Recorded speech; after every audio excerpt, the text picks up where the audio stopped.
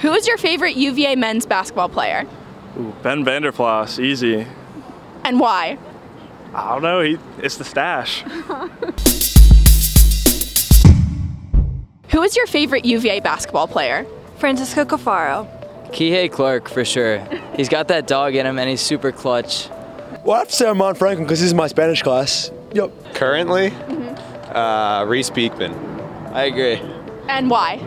Uh, just because he gives it all on both ends of the floor, and uh, I think he's an important player, always poised. ACC Defensive Player of the Year. Yeah. Who is your favorite UVA men's basketball player?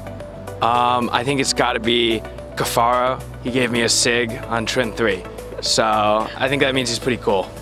Uh, Reece Beekman for me. I'm a defensive guy. I buy into Coach Ben's philosophy, so Reece Beekman all the way. Ben Vander Plas. Um, I don't really have a reason, I'm not gonna lie, but yeah, I love him. Instinctively, I'll say Armaan Franklin, but I do have a place in my heart for Ryan Dunn. I think I'm the same way. Um, Reece Beekman. Same way. My favorite basketball player is McKneely because he's a first year. It's got to be Reece. It's got to be Reece.